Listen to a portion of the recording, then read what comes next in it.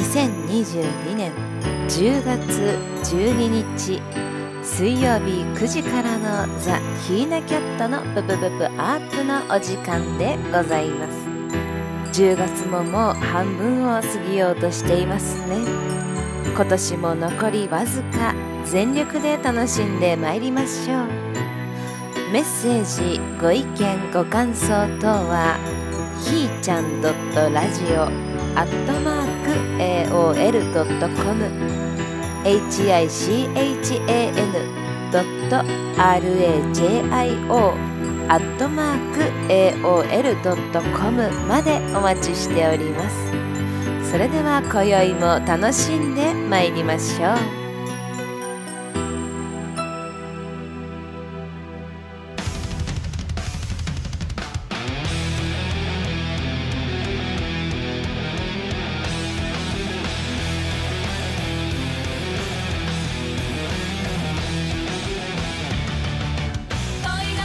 はい今宵も始まりました。ザ・ヒーナキャットひーちゃんでございます。私今絶賛名古屋のホテルで収録をしております。今日はですねシングルのお部屋に泊まっておりますので1人で優雅に撮っておるんでございますが明日と明後日はですねガヤガヤと4人部屋でございますので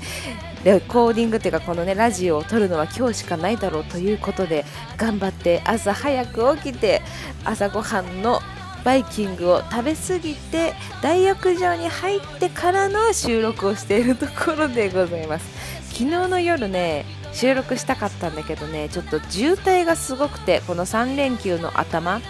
下りの東名高速がもうずっと混んでてさ本当こんなに渋滞久々っていうぐらい渋滞にはまりましてもうなんか足も疲れたしなんかなんていうの気力もなくなったしお腹は空いてるしだからもうこれはこのまま起きていたら絶対何かしら食べてしまうと思ったから寝るしかねえと思って寝ました。そしたら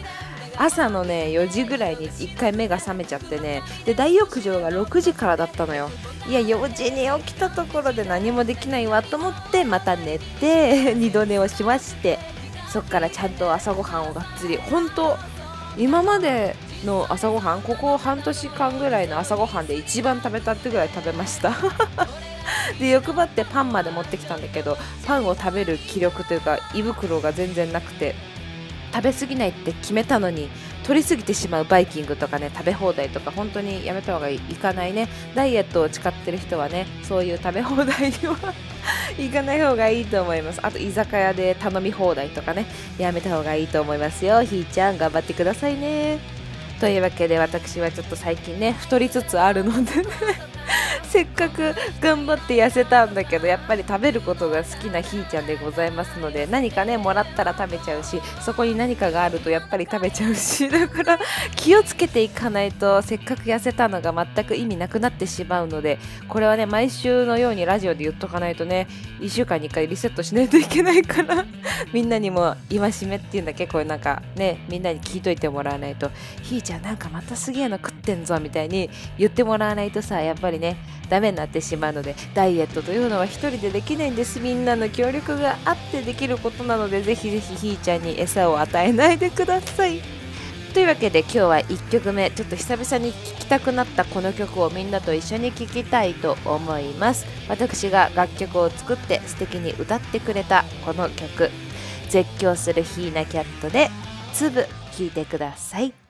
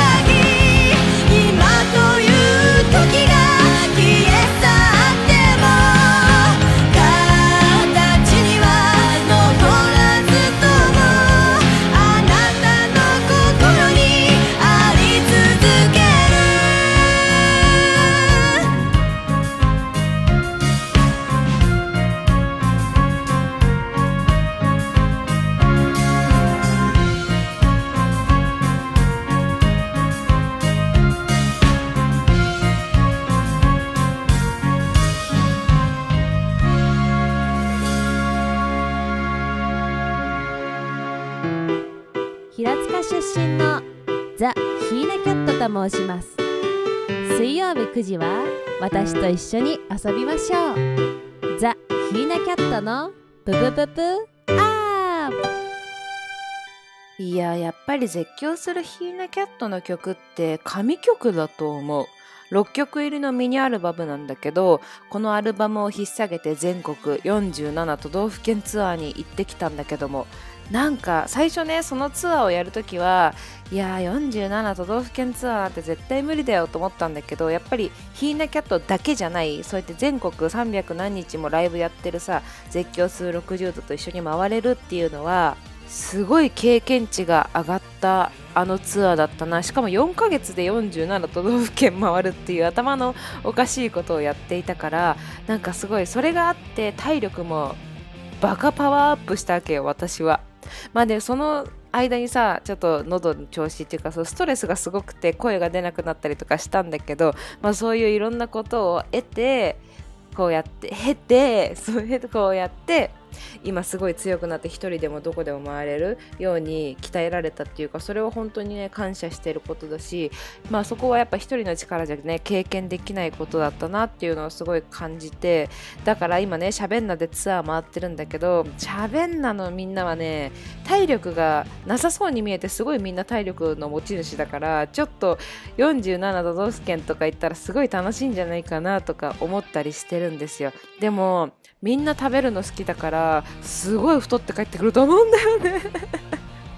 ライブやってご飯食べてライブやってご飯食べててせっかく消費してるのに超プラスで帰るみたいななんかそんなようなことがあっちゃうのでやっぱそこもねみんなの協力が必要なんでね。4人ともさダイエットっていうかその気をつけよう気をつけよう美味しいねあ気をつけよう気をつけようって食べるからさ本当にね全然一緒にいてもね痩せないから。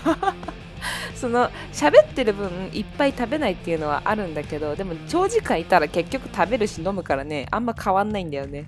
でねやっぱりね私は考えたんだ。このラジオで何回も言ってると思うんだけど食べたいなら動く。動かないなら食べない？それ絶対だと思うの。と思ってちょっと最近ほんと食べるとか食べることがやっぱり楽しいからそれはやめちゃいけないなと思って。で前はさダイエットしてる時ほんと薬の力で食欲を抑えられて強制的に食べなかったわけよ。本当に。ご飯一口でお腹いっぱいぐらいの勢いで本当にその食欲を抑えて食べなくても生活できるような感じにさせてもらってたから必然的に痩せるわけじゃん。だって食べてないんだもん。でもやっぱりその薬が終わってダイエットが終わるともう食べていいわけじゃん。もう薬で抑えられてないから食べれちゃうしやっぱ食べることは幸せだからって思ってひーちゃんちゃんとジムに通い始めました。もう何筋トレするとやっぱり体重は重くなったりするんだけどブヨブヨの体よりいいかなと思ってやってます。でそこにさセルフエステっていうのがあってなんかその、筋肉を強制的に温めて脂肪を溶かすみたいなのがあるんだけどそれをちょっと毎日通おうかなって。無料なのよそれも。だからそれをゴリゴリゴリゴリやってさ結構筋肉痛になるの。だから効いてんのかなと思って。それともゴリゴリやりすぎてあざになってんのかなとかちょっとわかんないんだけどちょっと続けてみようかなと思って。でそこにやっぱランニングマシーンとかもあるからその5分ぐらいでもいいから毎日行って続けることが大事かなって思ったので私ちょっとジムに通うことを決意しましたのでぜひぜひこれからもせっかくそう前回さ引っ越す前にさそこでね、たまたまに行ってたジムがあるんだけどそれより全然近いからちょっとすごく続けられるんじゃないかなって思うしせっかくねランニングシューズを買って5回ぐらいしか履かなかったから そのシューズを使い古してってかねズタボロにするまで走ってあげようかなと思っております。そんなこんなで今日はねお題を出しているんですけどもねもうね全然みんなラジオのことなんか絶対忘れてるんだよねってぐらいのラジオのメッセージが来てないので1通だけね TM ちゃんが送ってくれたから読んでみようかと思います。ひーちゃんこんばんは。ラジオをお聴きの皆様こんばんは。眠れないひな猫です。あひな猫ちゃんだった。ひな猫 in 東京ということで毎日ひーひー言っております。さてお題ですが今年中にやりたいことですね。とりあえずひな猫は東京武者修行を達成して今年中に福岡に帰りたいです。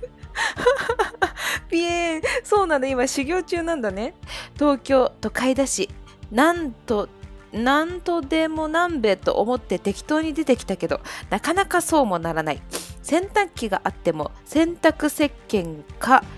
が脱衣かご漂白剤ハンガーいるよね。そりゃそうだよね。済むんだもんね。おかげで全部床にぶちまけてダメだってなった1日目。大丈夫？料理やろうか。フライパン鍋はあるけどサラダ油醤油とかがないよね。ダメだとこりゃ格闘の2日目。3日目にしてへこたれて週末名古屋に思いを馳せている。そうなんだ。もう現実逃避で来たんだね。今年のやりたいことひーちゃんはすっきり痩せて目標達成したしダメダメダメ本当にちょっとちょっと戻すから気をつけて。しゃべんだも本格指導でツアー中。もうこれ以上ないよね。僕はもう少し落ち着いたらもうちょっとマシなこと考えます。それではバイーンひな猫ちゃんでございました。ありがとうございます。ひーちゃん痩せたっていうのをみんながちょっと認知しちゃったから太ったねって言われないようにしないと。マジで。それは悲しすぎるでしょ。ね。だから気をつける。結局この話になっちゃうんだけど。でもさ私さ一人暮らし最初さできないと思ったのよ。今までほんと。ひーママが全部やってくれてさそのご飯も朝ごはんもさ起きりゃ出てくるしさ。夜ご飯もいれば出てくるしさ。そういう生活。まあみんなもそうだと思うんだけど若かった頃は。そういう生活をさのらりくらりとさせていただきなんか一人で生活したら洗濯もやんなきゃいけないしお料理もしないとねさすがに外食毎日はできないしとか思っていろいろやってたらさひーちゃん本当にめちゃくちゃできるのね。やっぱそういう人を見てたからっていうのもあんのかな。あれやんなきゃこれやんなきゃみたいなさ。でひーまは別に文句言ってご飯作ってくれたりとかは一回もないからさちゃんと普通にご飯作ったりとかの姿を見てるとあ私も意外とできんじゃんと思ってしかも意外と手際いいじゃん自画自賛と思いながら。やってる。ほんと毎日ちゃんとご飯作ってるよ。それを載せりゃいいんだけどさ載せる前にお腹が空いてるから食べちゃうんだよね。そしたらさもう写真を撮る頃には汚い残骸っていうかもう食べかけの食べかけみたいなだからいつも写真撮るの忘れちゃう。もうフライパンのある時に撮ればいいんだよね。作ってお皿に盛る前に撮ればいいんだ。そしたら毎日こんなの食ってんだよっていうのをね見せれるもんね。意外とねしかも私ちゃんとねタッパに入れてね冷凍とかしちゃってね作り置きとかしちゃってんの偉くない？まあ何何かさその美味しいやつはまた食べたいじゃん。でまた作るのめんどくさいかっていうのもあるんだけどさ。なんかそういうのもあるから意外とね意外と頑張ってるの本当に。で喋んののみんなはさマリーちゃんも料理うまいしカミちゃんも料理うまいんだけどちょっとたっちゃんは未知数なんだけど ちょっと。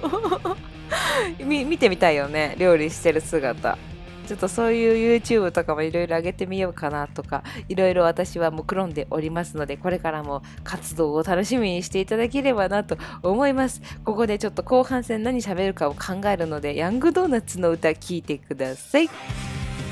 ザ・ヒーナキャットのププププアップ。こちらの番組は宮田製菓様の提供でお送りさせていただいております。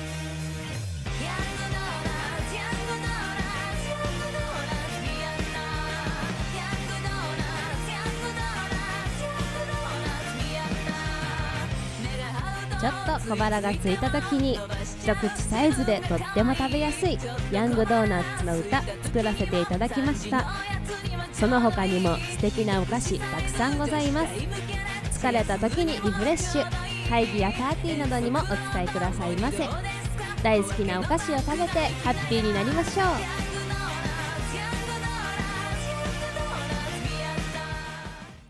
そういえばさこの間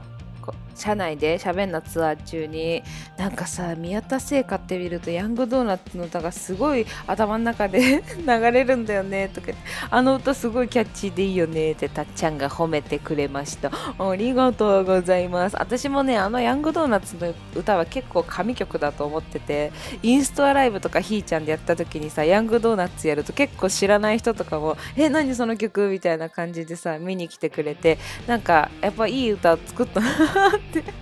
思っております。あれ本当に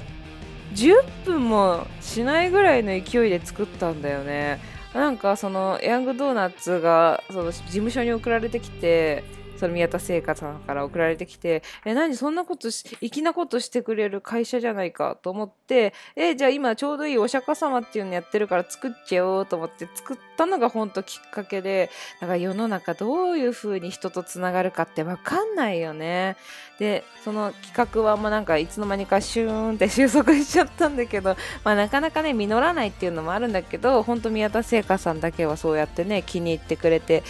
その何ヒーナキャットを見つけてくれてっていうかさそういうのをやってくれて本当に良かったなって思うし今後もやっぱりね意味のある曲を作っていきたいなっていうのは本当に思っているんでございます。でやっぱヒーナキャットとしては先週？先々週か？言ったけどお楽しみ箱のねフルアルバムをちょっと作りたいなって思ってるししゃべんなさんもどんどんどんどん毎月毎月新曲作ってるしその曲たちどこ行くんだよってちょっと思ってるんだけど 今 CD 出したばっかでさどうすんねんとは思ってるんだけどまあまあちょっと考えていこうかな。本当あのねしゃべんなについては本当ねまだ始めたばっかだからガチでどうするかの方向性あ方向性は分かってるんだけどだけど何どうするっていうか音源に対しては本当にね何も考えてなさすぎてポンポンポンポン曲作ってるって感じ。なんか、まあ、私の曲作るペースもやっぱね未だに変わんないんだけど最近はねちょっと録音っていうものをちょっと猫と遊びすぎてしてないんだけど。で神ちゃんもそれになんか重ねてっていうかひーちゃんが作るなら私も作るみたいな感じでブワーって作ってさ一緒にアレンジしてさドラムかっこいいのつけてさそれにベースラインなんかビヨンビヨンつけてくれてさすごくね早いのよ。1回のスタジオで1曲できるみたいな感じだからちょっとね今後にすごく期待している私は。そのうちマリーちゃんもたっちゃんもなんかあ10曲作ったけどどれやるぐらいの勢いで言ってくるんじゃないかなってちょっとそわそわしております。そんな曲頭に入らないよとか思いながら。あのねほんと曲作るのはいいんだけどね歌詞がマジで覚えられない。その昨日？あ土曜日のファームで10月のハロウィンの新曲をね披露したんだけどサビはなんとなく覚えられるんだけどもうマジ A メロ完璧ガン見だからね。もう前なんて見れない文字しか見れないみたいな。そこの文字を逃したらもう私口が何も出てこないと思いながらさちょっとやっておりました。10月はねハロウィンということで去年の1月去年じゃ今年の1月に指導した時にハロウィンの曲をね1曲披露したんだけど、まあ、謎にね1月にねハロウィンの曲を披露してでもやっぱ神ちゃんはねハロウィンが大好きだから10月になったらハロウィンの第2弾作りたいってずっと言っててじゃあいいよ作ってって言って10月の新曲は神ちゃんのハロウィンタイムという曲になりました。そうそうそうそれでさしゃべんなさんさインストアライブをやるんだけど、まあ、インストアライブっつってもやっぱトークショーなんだけどねその内容は。でもそのトークショーに来ていただいて CD を買っていただくとリハの音源っていうのがもらえるのよ。そのリハでベラベラ喋ってたりとかさその投資音源っていうんだけどその投資音源の1個目が昨日のねファームの昨日で土曜日のファームの投資音源がもらえるからそこでこのハロウィンタイムをやってるわけよ。だからそこで音源として聴けるのね。すごい得だと思わない？CD になる予定もない一番最新曲がリハ音源で聴けるっていう。まあでもリハ音源だからやっぱドラムの音がバーンって聞こえちゃってるんだけどでもそれでもやっぱ形はなんとなくわかるからこういう風にやってんのかなとかあとすごい間違えてるなとかもあるから だからそういうのを楽しみに聴いていただけたらなって思うしやっぱそういうのもなんだろうなかなかもらえないじゃん。好きなアーティストの練習してるやつって。だからでちゃんとそのインストア用に MC も撮ったからそれだけの音源になっております。特別感満載でございますよ。間違えてるところあるけどほんとそこは気にしないで見ないで見なかったことにしてっていう感じなんだけど。その日限定11月6日に大阪のディスクユニオンで来てくれた人来て買ってくれた人限定ですのでなんかそのユニオンで買ったからもらえるんじゃないとかじゃなくてその日に来てくれた人の特典になっております。で東京は東京でまた次のリハの音源を取りたいと思っておりますのでその時には11月の新曲が聴けるんじゃないかなってちょっと思ってるんだけどちょっとどうかな？それはちょっとまだわかんないけどそれもありますのでぜひぜひゲットしていただければなと思います。東京は11月の13日こちら渋谷のディスクユニオンでございます。で日曜日の4時から16時からトークショー始まりますので、ぜひライブの、どっかライブの行く前に、ヒーナキャットちゃんみたいな喋んなのトークショーに来て、バカ笑いしてから帰っていただければなと思います。何を喋るかは全く考えてないし、来月のことだからツアーについてね、いろいろ喋れたらいいかなとか思ったりしております。さてさてそんなひーちゃんでございますがこの3連休は東京にはねいないんだけれども名古屋大阪大阪大阪っていう謎のね ライブは2日間しかないんだけど私 USJ で楽しんでいる頃ではない。あもうそっか。このあれが流れている時は12日だから東京に帰ってきてるけどもう USJ を楽しみに今まで生きてきたので次の楽しみはどこに作ろうかなってちょっと考えております。前回喋んなんでディズニー行った時にあ次の楽しみどうする？USJ だねって話をしてのだから ちょっと USJ が終わる頃には次の楽しみを作るかなって思っております。あ次の楽しみは沖縄だね。そうだ沖縄でライブやるっていうのをツイートしなきゃいけないんだった。もうこの流れてる時にはツイートされてると思うけどちょっとぜひぜひクリスマス私たちと一緒に沖縄で過ごしませんか？ということでございます。ということで私先々先週ぐらい先週ぐらいわかんないけどずっとさ月曜日の弾いてみた動画どんなんがいいっていろいろ話しててやっぱり顔がアップとかさそのいろんな角度があったら面白いんじゃないとかいろいろ言ってくれたからちょっといろんなのを撮っているんでございますが先週はちょっとね時間がなくてライブ動画を載せてしまいましたが今週はいろいろと撮っておりますのでそれを流したいと思っております。やっぱりさ2カメぐらいで切り替えがあると見やすいよね。1カメより。でやっぱり歌詞を載せてるとさそのなんだろう私結構歌ってる時はバッキング弾いてるのが多いからそのバッキング見てもしょうがないからね歌詞が出てたらいいなと思って歌詞は打ってるんだけど。なかなかさ歌詞ってさ歌詞カード見ないと聞き取れない部分があるじゃない。だからそういうのも含めて全曲ああやって上がってったらねあここでなここなんて歌ってるんだろうっていうのがちょっと謎が解けたりするのかなと思ったりして。ね CD を全部持ってる人じゃない人もいっぱいいるだろうしサブスクとかだとね歌詞出てないしね。でやっぱりヒーナキャットってそんなバカ売れしてるわけじゃないからねインターネットで検索してもね歌詞が出てくる曲と出てこない曲もあるからなんかそういうのも含めていろんなみんなのモヤモヤが 解かれていけばいいかなって思っております。ちゃんと全曲終わったらしゃべんなの弾いてみたもあでもしゃべんなの弾いてみたはしゃべんなのアカウントでやってるのか。だからそういうのもありますのでぜひいろいろとで楽しんでいっていただければなって思っております。というわけで今週のひーちゃんの行動を皆様にご紹介したいと思います。10月15日こちら喋らなければいい女で全行 Z 初めてだね。私の地元なんだけどほぼ湘南は。湘南はっていうかこのね平塚っていう平塚藤沢秦野ら辺までは結構ね、高校生時代はよく遊んでいたところでそのでもそのレデアス全業 Z って出たことがないんだけどそこに行かしていただきます。楽しみだね。どんな箱なのかもわかんないし学生さんがいっぱい出るいっぱいいてくれるイベントになってると思いますのでそこでちょっとぶちかましてこようかなって思っております。でその日はひーママのお誕生日。私こんな素敵なひーちゃんを産んでくれたひーママのお誕生日でございますので皆さんツイッターとかで、ね、おめでとうってリブをあげてあげてください。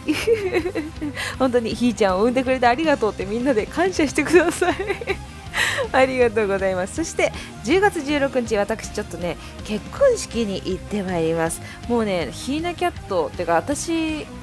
が音楽を続けてられるのは本当にねこの人たちのおかげなんじゃないかなって思う人たちがいらいてああの本当ねいてファンの方なんだけどそのファン同士が結婚していただいたのでちょっと私一曲歌ってまいりますのでちょっとそういうところに行ってまいります。でその日はひいばあちゃんのお誕生日でございますので この日なんかツイッターはやってないから念を送っといてください。